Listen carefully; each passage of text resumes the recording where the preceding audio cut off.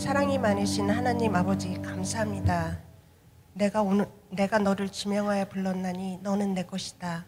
포도원 주인이 손수 이른 새벽부터 늦은 시간까지 지금도 일꾼들을 찾으러 다니고 계심에 감사드립니다.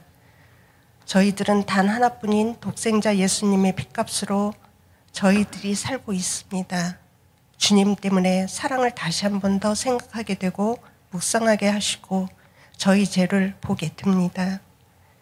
죄인이 위인을 찾아갈 수 없기에 한 죄인, 죄인들을 위해 구원해 주시려고 지금도 불꽃 같은 눈동자로 일하고 계심에 감사합니다.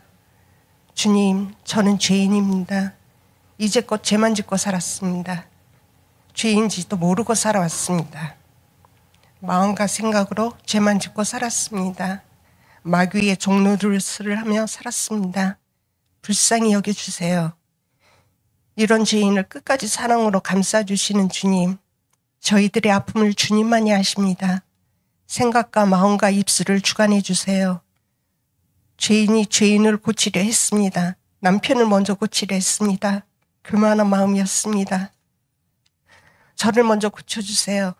제가 먼저 회복되고 가정과 교회로 주님이 주시는 그 향기가 흘러나가길 원합니다. 주님을 더 알기 원합니다.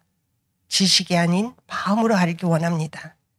목마른 저희들에게 단비를 내려주세요. 순종할 수 있는 힘을 주세요. 성부, 성자, 성령님은 서로를 높여주시는 아름다운 모습 닮아가길 원합니다. 서로의 아픈 상처를 감싸주며 사랑할 수 있는 은혜를 베풀어 주세요. 어렸을 때 받았던 상처, 분노, 시기, 미움, 교만, 정지하는 나쁜 영들을 물리쳐 주세요. 예수님의 보혈의 피로 저희들을 깨끗하게 덮어주세요. 믿음이 없음을 용서해 주세요.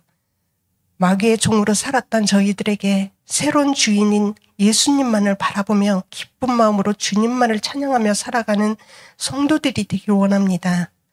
저희 성도들 마음밭을 주님을 향한 마음으로 가득 채워주세요.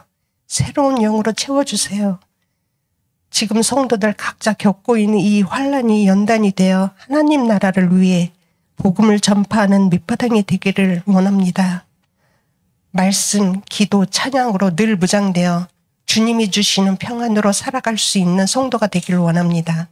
주의 종으로 세우신 오충성 목사님의 설교 말씀이 주님의 음성으로 들리길 간절히 원합니다. 오늘 주일 말씀 한 문장, 한 단어라도 가슴 속에 새겨지는 은혜를 베풀어 주세요.